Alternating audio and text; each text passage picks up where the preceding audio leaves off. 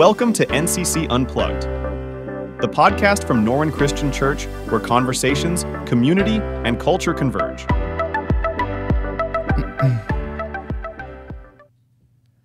Welcome back to another episode of NCC Plugged. I'm excited that.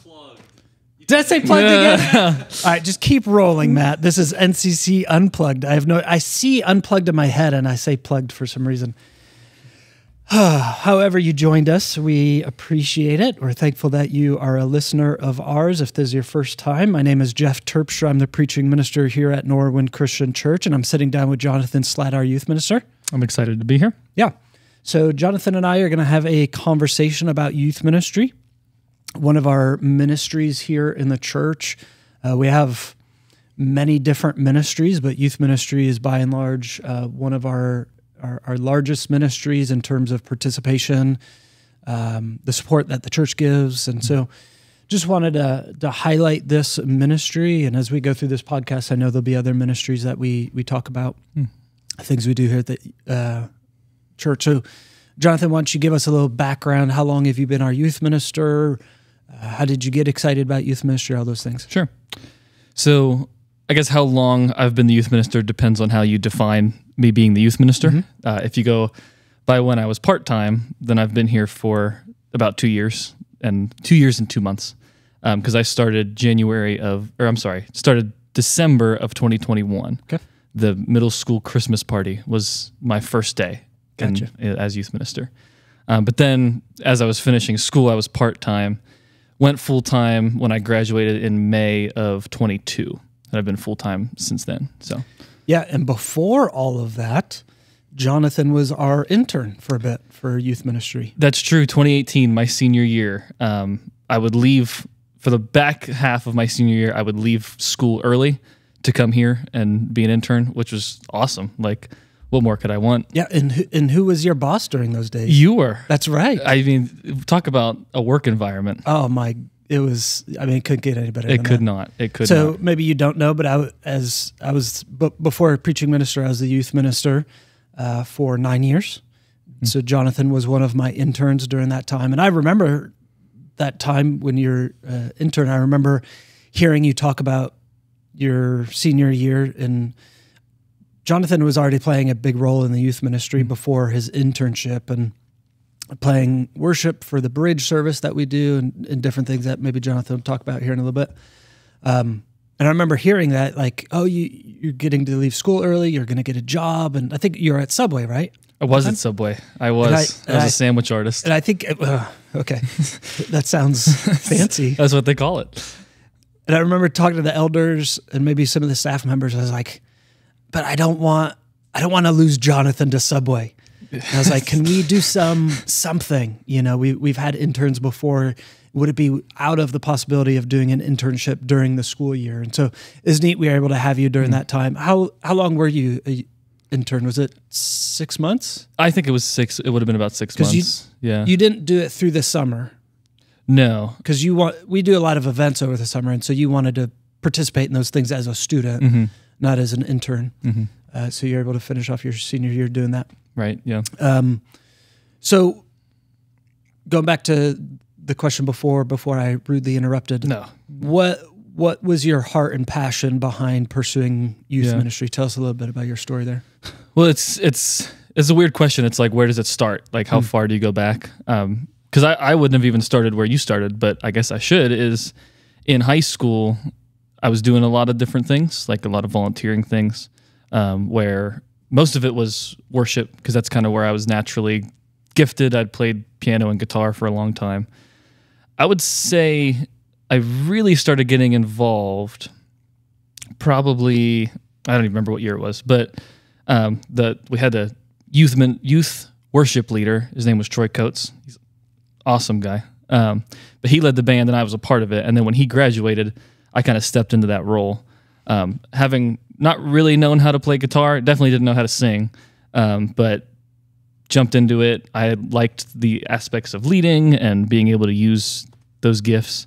Um, and then from there, it kind of went into being a counselor at Camp Christian with the middle school week. um, and just kind of getting involved in different areas. Uh, like we had a student leadership group that I was a part of.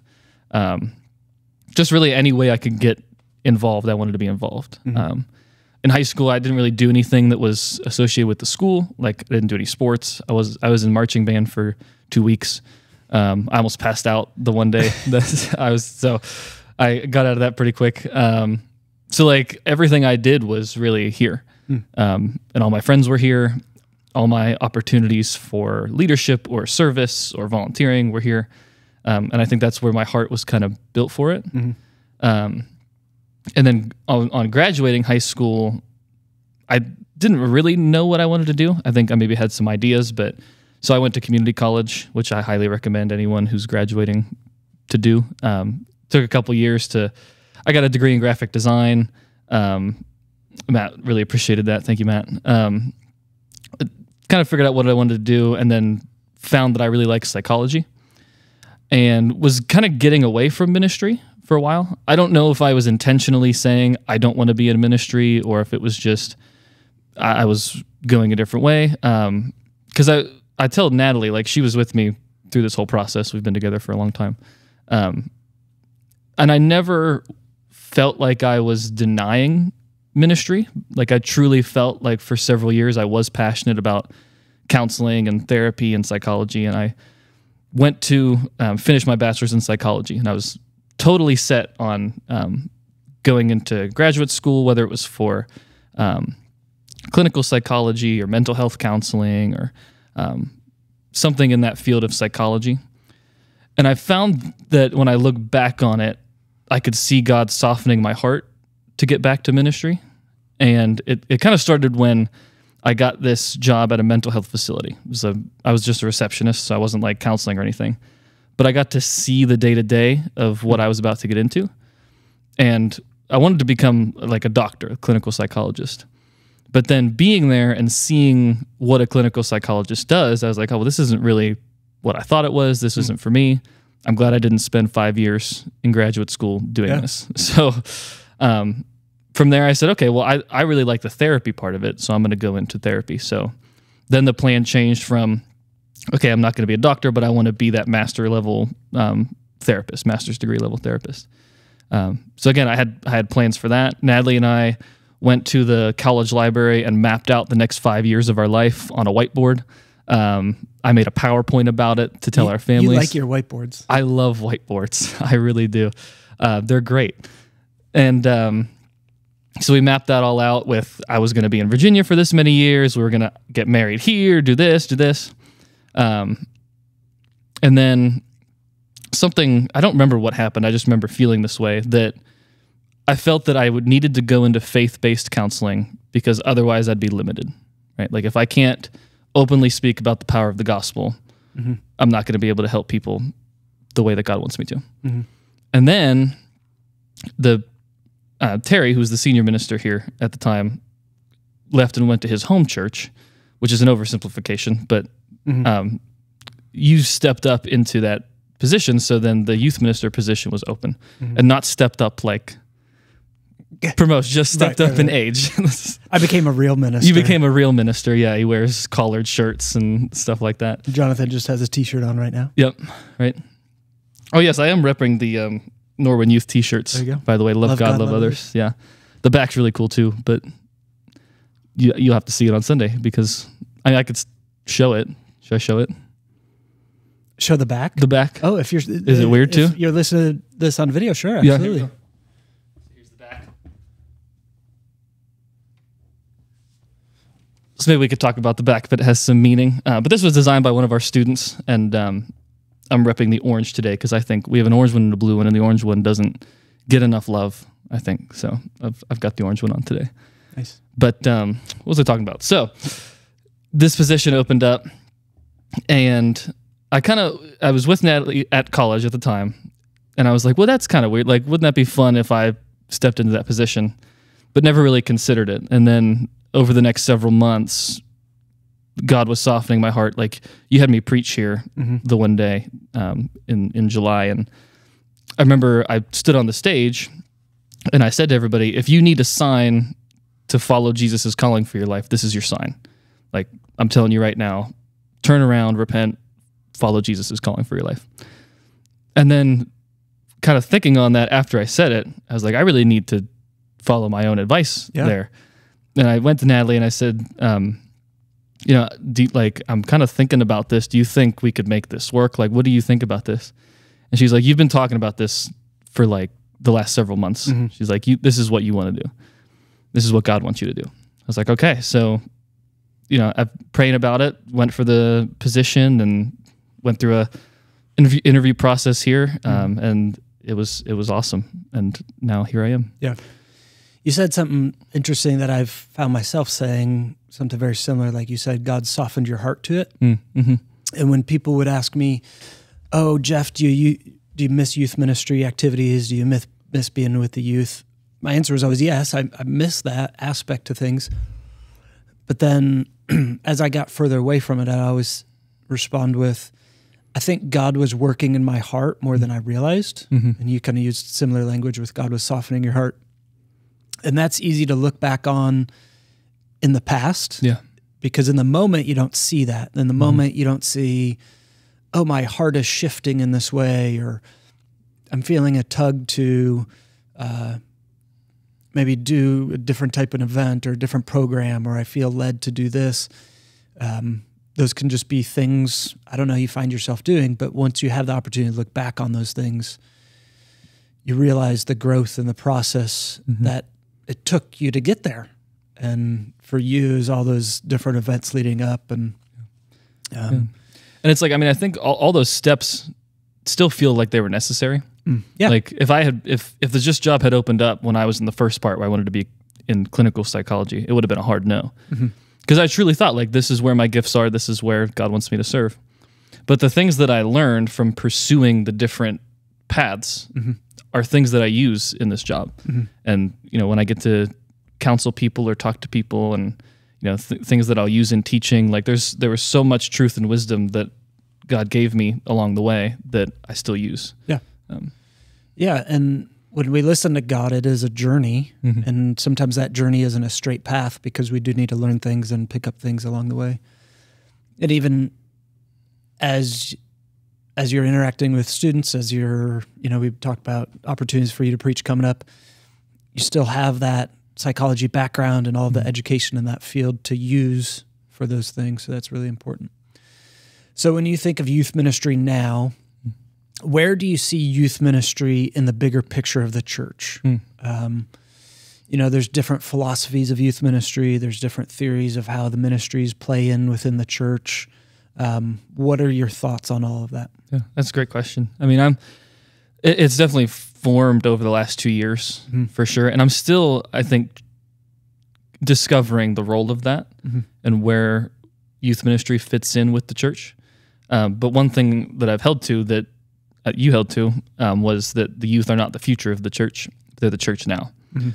So this this heart of equipping them to do God's work where they are, and not okay. When you graduate, you can do this. When you're in high school, you can do this. When you are 18, you know.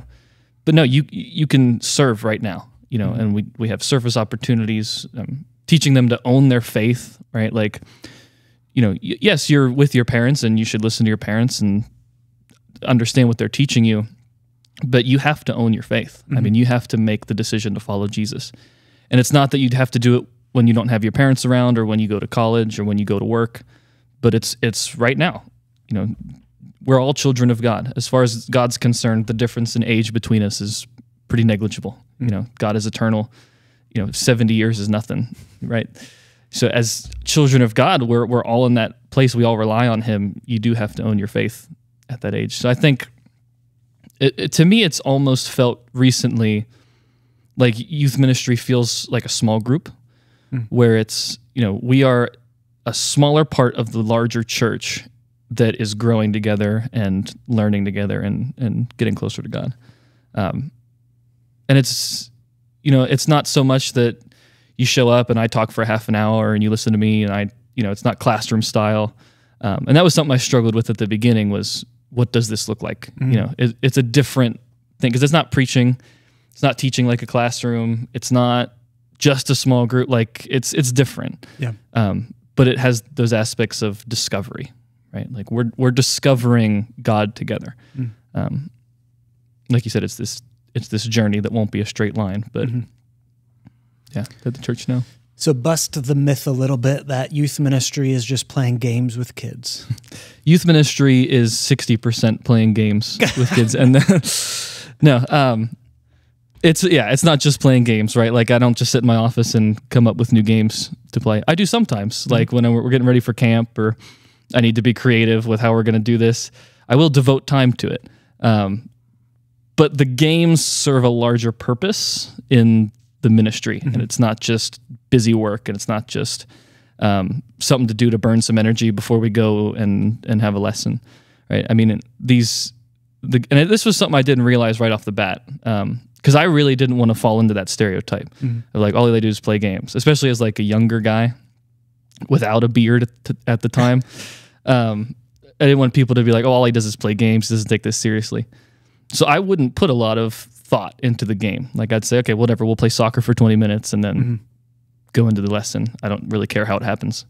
Um, but then as as I went, kind of understanding, well, no, the the game is a big part of the night, right?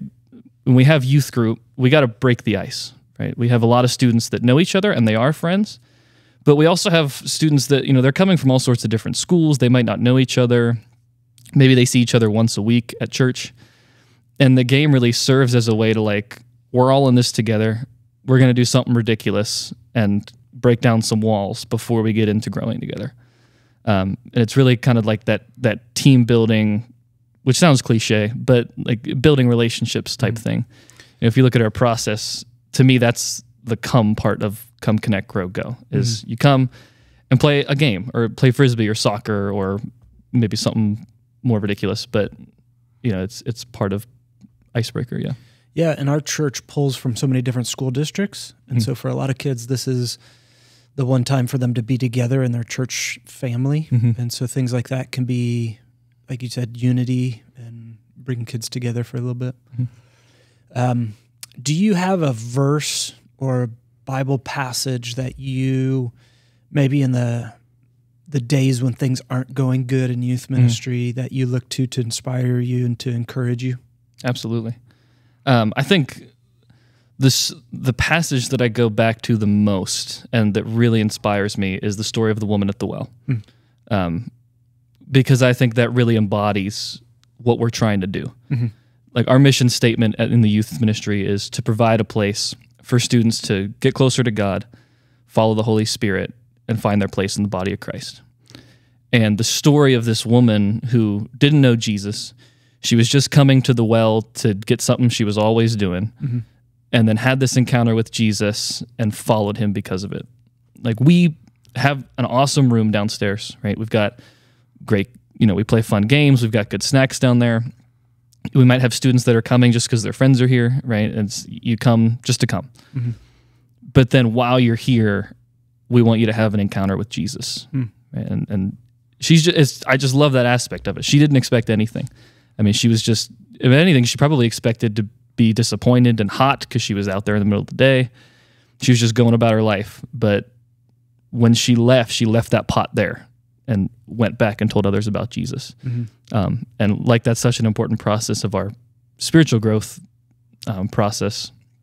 It's it's such a, an important part of what we do in the youth ministry. So that passage definitely inspires me um, for sure. I mean, was there one that inspired you when you were starting out, or one that inspires you now in preaching? Yeah, it's interesting. So during that transition time uh, between youth ministry and preaching, um, there's Rob Grandy was was in charge of the preaching schedule, and Joshua and I and Rob were were sharing a lot of the preaching duties, and so I I had done sermons before as the youth minister. Um, in fact, I had done one sermon series. I think it was three or four weeks long, and um, but then that was the start to definitely preach more often. And one of the series is series is series series Series, yeah series. Yep. uh, we did was on Colossians. And so my goal through that series, even though I wasn't preaching every week, I tried to read through the book of Colossians every every single week, just to get it in my head and, and grasp it. And so this stuck out uh, from Colossians chapter one, verse twenty eight. He, meaning Jesus, is the one we proclaim, admonishing and teaching everyone with all wisdom, so that we may present everyone fully mature in Christ. And so, in my head, and I don't know if this image is right, but in my head as preacher, um, he says, We do this so that we may present everyone fully mature in Christ. I just had this picture of um, being held accountable for the flock and, you know, ushering everybody in fully mature and say, Yep, I taught them this. Yes, we, we looked at scripture this way. Yes, they're ready. And um, that's kind of what I go back to often is, you know, as I plan things, as we do things as a church, outside sermon series and, and sermons as well, you know, when we have worship nights or what the direction for our church is, what's our one year goal, different things. Is this leading to greater maturity for for our church? Um, so that's something that really inspires me. I also marked uh, my inspiring verse in youth ministry, and I use this different ways. Um, at the first church I worked at in Florida, we I painted it up on the wall and came up with acronyms for different things. We like youth ministers love acronyms for different things. Some Like, of them some of them do. I'm gonna yeah. guess that's not you. Probably though. not the newer ones. Okay. No. Uh, First Timothy four. Are you, are you saying I'm an older? No, Yeah, I guess don't know. am an I don't know what I meant. That's right. Uh, First Timothy four. Uh, we'll start in verse twelve. It says, "Don't let anyone look down on you because you are young, but set an example for the believers in speech, in love, and faith, and in purity." So Paul was writing to Timothy, this young guy, this young leader in the church, and saying, well, I guess the aspect I love to that verse is it doesn't say prove them wrong by your, you know, your knowledge of all these things or uh, by not wearing t-shirts that are wrinkled, but uh, he says set an example for them. Like just just show up and do it. You know, sh- show them that whatever accusation they have against you isn't true because of the way you've been living your life and your speech and your love that you have for others. So that was kind of always motivating to um, give out to students. You know, when Yeah. hey, there might be some really well-meaning adults in your life. There might be some really well-meaning adults in the church that, oh well, the kids can't do this, or oh, I'm not quite sure we can hand that responsibility over to a high schooler. Um, okay, take that, but then show them with your love and your purity and your actions that that's just not true. Yeah. Because sometimes I think. I, I remember as a teenager, like you just want to fight back. You just want to be like, "You're not right. No, that's not true. I could do this. Let me show you." And I think Paul's just encouraging Timothy uh, just to to show up in his actions and stuff like that. So for those those listening, Jonathan, what else what else uh, would you give them as far as this is what the youth ministry at Norwin Christian Church is about? Yeah, for sure. Before I do that, though, I want to speak to kind of what you just said, hmm. just real quick about our church. Is I'm so thankful and grateful how little, if at all, we ever experience that sort of resistance. Mm-hmm. I mean, For sure. people at this church are so willing to let the students into their spaces and into these volunteer spaces.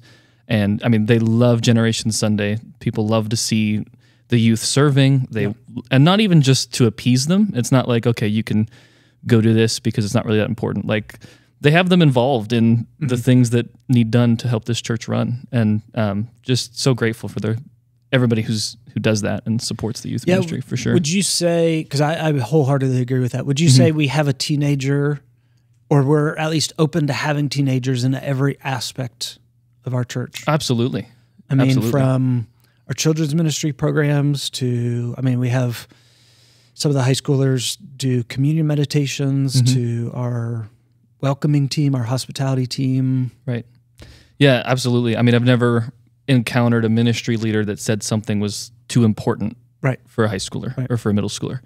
Um, you know, are there spaces that might be like I don't know how to put it, um, like in a counseling situation or, or something like that. There's there's different things, but there's nobody even in those situations that isn't ready to help equip Yeah. a youth to to do those things. Um, and the way that they look out for e- each other as well is is awesome.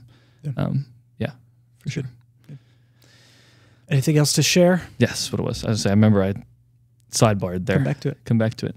Um, Could you ask the question again?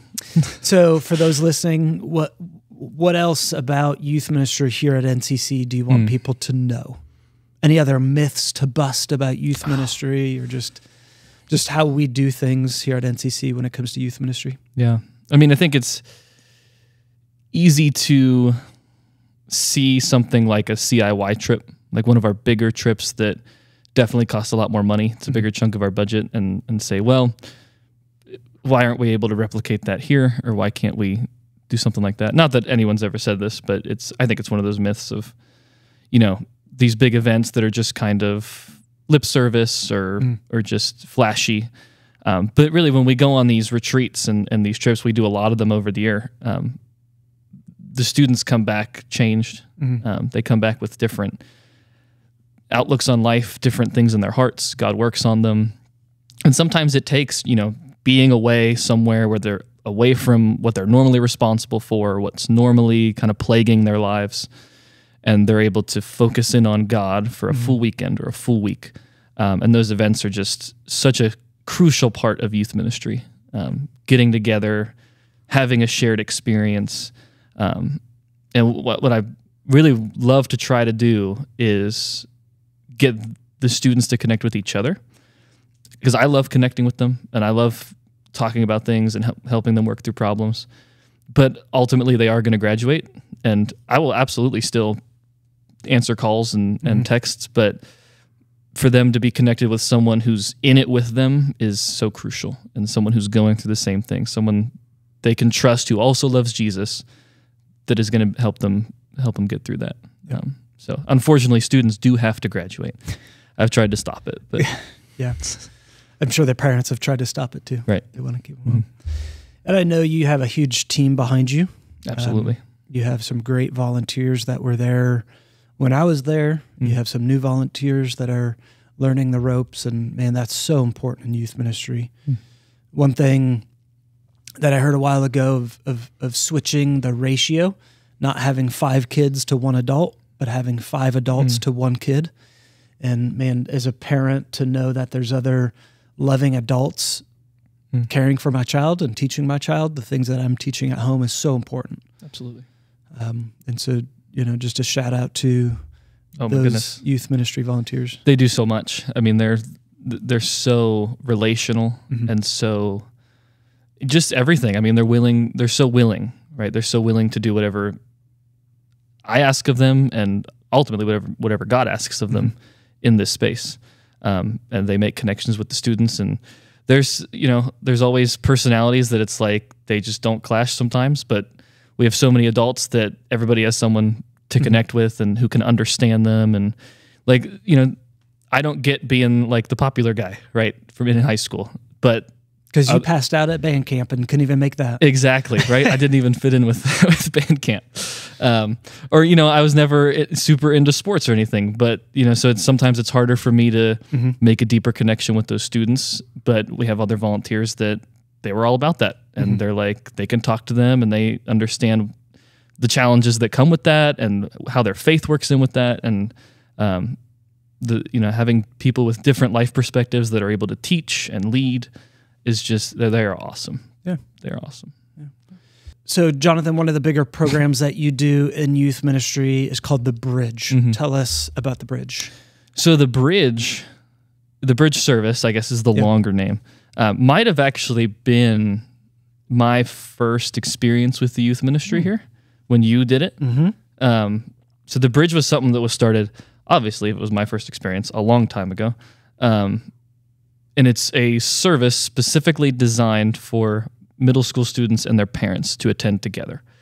Um, and it's it's a more intimate service. It's smaller. Um, it's we the youth praise band leads the worship so it's more of an acoustic um, set list. But the idea of it is that middle school is this time of rapidly changing parent-child dynamics. You know, um, middle school students are really starting to find figure out who they are. They're trying to find their identity in different things, and and they're gaining more autonomy. Um, you know, psychologically, they're developing into really who they're going to be as an adult. You you know, up until that point, there's a lot more reliance on the parents. There's a lot more, um, there's a lot less disagreeing with everything they say. Um, it's just changing, right? And it can be tough to navigate. So to have a space where students and parents can come, maybe set aside some of the di- difficulties they've had during the week, and learn about God together. Yeah. Right. Because you know parents have difficulties. It's like I just feel like I d- don't understand them, and students are like, "Yeah, you don't understand me." Right. You know, there's it's Right. this this challenging thing. And so you're trying to bridge that Exactly. gap uh, here at church. So that happens first Sunday of the month, eight forty-five every month, Except for the summer. Except for um, March and April, it's going to be the second Sunday. Of March and April, you're mixing it up a little bit. a little bit. Okay. Uh, other regular programs give a little bit of a commercial for that times, Absolutely. dates, all that. So we have these nice cards that Lilac the squirrel is holding with our um, night events, and what those are. On Sunday nights, we have um, youth group for high school, and that's ninth through twelfth grade. Six to seven thirty is what we have the program for, but people always stay till later than that, talking and hanging out, which is awesome. Um, but that's um, a time that's when I think of what I would invite a new student to for the very first time. I think of youth group because it's it- it's not intimidating like maybe coming to a church building on a Sunday morning is. You know, it's darker outside. Um, not the whole church isn't lit up and full. You know, it's kind of our space to to be there and to talk and to um, to interact with God in that way. Um, additionally, for high school, we have on Sunday mornings we do have a high school class.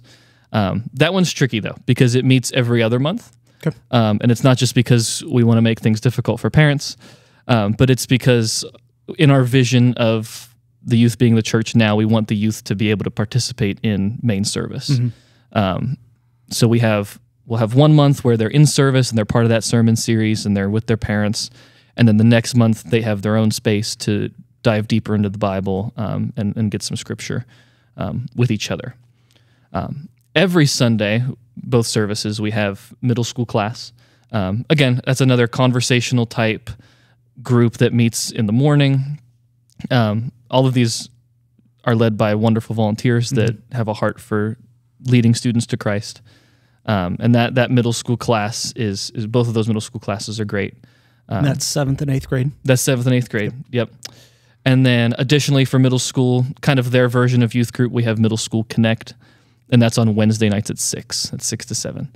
Um, and that's similar to youth group in the sense that it's a little more relaxed. We got a game, there's snacks involved, um, and that's um, that's for the middle schoolers. And then at different times throughout the year, we'll have different groups for the high schools. We'll have an abide group program, which is kind of our small group, and those are he- held at people's houses. Um, and then over the summer, and this is probably my favorite thing that we do is the um, weeknight hangouts. Usually it's on Tuesdays, but we go to different people's houses, and sometimes the, they have pools, sometimes they have backyards or campfires or whatever. Um, and those are just really times to hang out, get to know each other. We typically do some maybe more difficult or current topics? Like we've in, in the past we've talked about dating or we talk about gender roles things that are going on in culture. Um, and I, I love those. It's it's such a great time. You know we stay it's dark outside by the time we're done because it, and it's the summer but it's warm so you're outside. Oh i just i love it. I love it. I'm so excited for that. Yeah, Very cool. Well, thanks for giving us a peek into the youth ministry a little bit and the purpose and the intention behind it and what role it plays in the greater body here at Norwin Christian Church.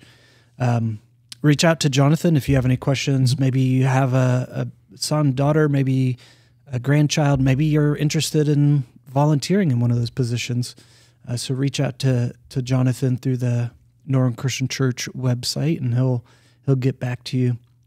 Thank you again for listening to the podcast. We'd love for you to rate this. Uh, if you feel so led, just get us on that that track so others can hear about it and see it uh, through whatever ever way you're listening to it today. But thanks again for listening and joining us. Thank you for tuning in to NCC Unplugged. If you've enjoyed listening to our podcast, we encourage you to share this with your friends and family. NCC Unplugged is available on all major podcast platforms. And if you're ever interested in experiencing Norwin Christian Church firsthand, we invite you to join us for our services every Sunday at 8:45 and 10:30 a.m. We have engaging classes available for all ages, ensuring there's something meaningful for everyone in our church community. For more information about NCC or any other inquiries, visit norwinchristianchurch.com